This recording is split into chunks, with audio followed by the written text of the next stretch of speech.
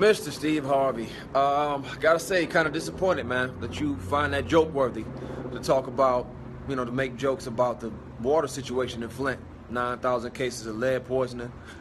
Three, four year old kids out there who haven't even started speaking yet because the lead has left them disabled to a certain extent and they haven't been able to develop properly.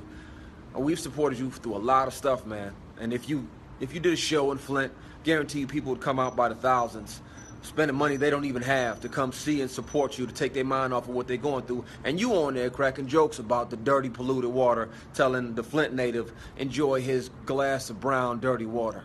You should be ashamed of yourself. You setting a terrible example. I know accidents happen. This is a perfect time for you to lift up that heavy ass mustache of yours and apologize to the city of Flint. Have some class, man.